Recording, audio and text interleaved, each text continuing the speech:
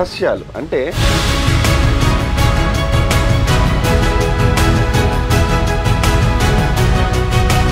ధ్యాన పరిచయం ఏ విధంగా జరిగింది ఫస్ట్ టైం ఆయన చూడడం. అంతే. ఈ ఆత్మ ఆత్మతో కనెక్ట్ అయిపోయింది.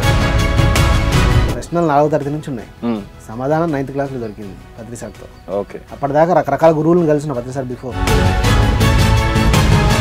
ధ్యానంలోకి రాకముందు మనకి యాస్టిక్స్గా మౌంటైన్ మౌంటైన్లు కానీ రివర్స్ రివర్స్గా కనబడతాయి. ధ్యానంలోకి వచ్చిన తర్వాత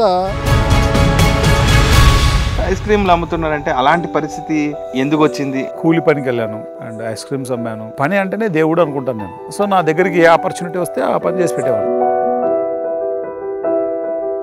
నిజం చెప్పాలంటే ఈరోజు నా జీవితం ఇట్లా ఉందంటే ఇప్పుడు మరి ఎన్నో నేను బిజినెస్లు చేశాను నేను. ప్రాపంచికంగా దీంట్లోకి వచ్చేపాటికి ఒక మాటలో చెప్పాలి అని అంటే మీరు పిఎంసీని ఏ విధంగా చూస్తారు? ధ్యానాన్ని శాకాహారాన్ని ఈ ప్రపంచానికి అందించడానికి ఒక గొప్ప వేదిక. పిఎస్ఎస్ఎం మీడియా లిమిటెడ్ చాలా మందికి తెలియని విషయం ఏంటంటే ఇది ఒక టీవీ ఛానల్ అని చూస్తున్నారు. ఎంతో మంది యొక్క సామూహికమైనటువంటి ఆ శక్తి ఈ ప్రపంచానికి పిఎంసి ద్వారా మాత్రమే వెళ్ళగలుగుతుంది.